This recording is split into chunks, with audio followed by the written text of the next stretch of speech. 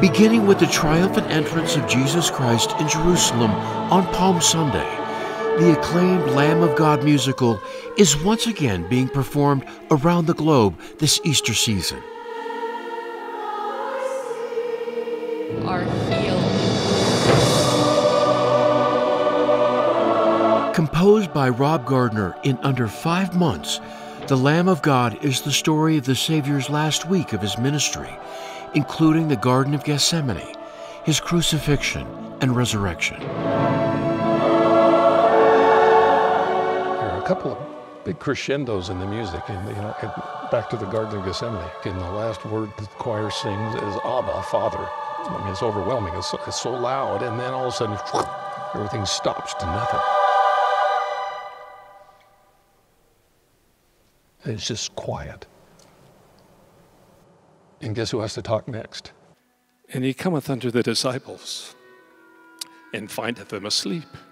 And that is one of my very all time favorite places. Since its release in 2010, The Lamb of God has been performed hundreds of times worldwide, including performances in the Salt Lake Tabernacle on Temple Square by the Davis Interfaith Choir and Symphony. Singing in the tabernacle is quite an experience, and conducting this ensemble here has been just a remarkable lifetime experience. The most impact that I've seen has been the power of this music on the people who are preparing it and present the concert.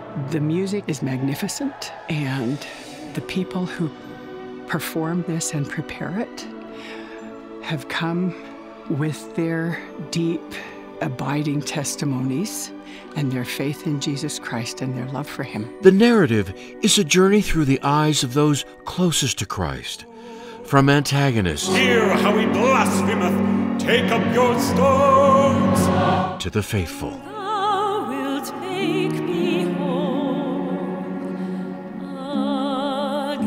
Of her experiences, how she felt as her brother died and, this, and the Savior wasn't there. And, you know, she had all this faith. She knew he was the Savior.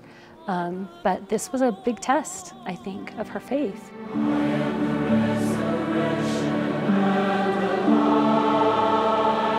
Being a soloist just feels like standing up in front of people and bearing my testimony.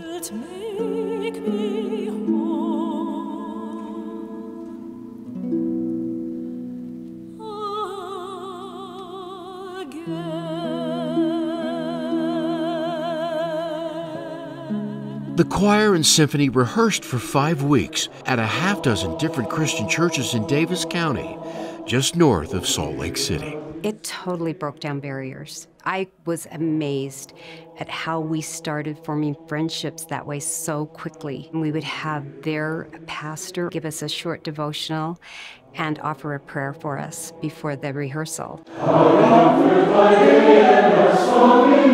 I believe we all have a common denominator in all this. Um, our, our desire wholeheartedly is to serve God, serve the people, and love God, love the people. Then we need to show it by coming together. We are one church, really, in spite of being different churches. One body of Christ, that's what he wanted, and, and that's what we are celebrating here. It's all for Jesus. It, so we're, we're all Christians.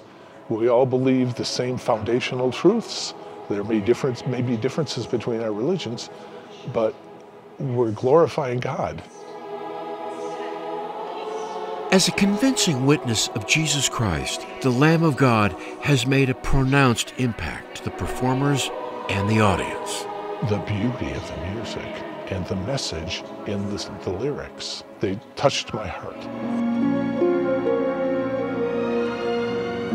The score uses the harp in a lot of ways that represent the atonement.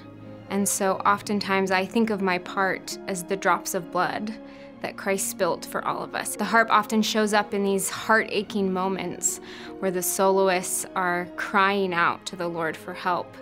And we hear this undercurrent of the Lord's support, that He is there and that He is listening to us. and helps you to identify with the people in the story. It keeps us focused, I think, on what is central to our happiness and to our hope, any hope that we have in our lives. and that is the Savior.